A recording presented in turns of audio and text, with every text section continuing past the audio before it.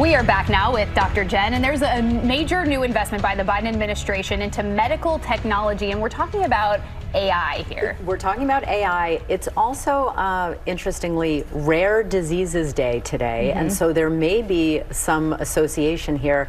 Uh, let me tell you about this news. A company called Every Cure is getting almost $50 million in funding, federal funding, uh, to build an AI platform which is uh, really going to be conceived to use FDA approved drugs already in existence to match them with other conditions, particularly rare diseases for which there is not an FDA approved medication as treatment. So, this repurposing of medications wow. using an AI database. So, this um, is essentially the off label use of approved drugs.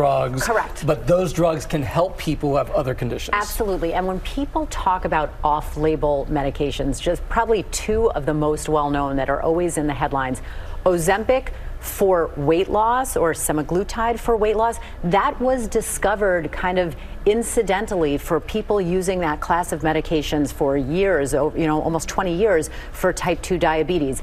Um, erectile dysfunction medication, those were hypertension, high blood pressure medications right. that were then discovered to have a benefit for men suffering from erectile dysfunction. So, using these drugs, finding this match to help these people can not only save lives, it can save money and it can save time because it takes years and billions of dollars to get FDA approval for something for one indication, it could potentially take weeks if you know that there's an existing medication that can be used off label. And we use off label medications in this country every single yeah, day. Yeah, it's really surprising, but it's so important. Yeah, this is a great All right. one. All right, Dr. Jen, thank you, you so much.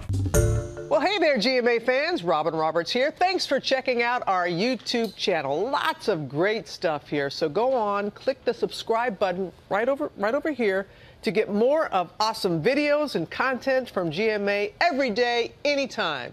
We thank you for watching, and we'll see you in the morning on GMA.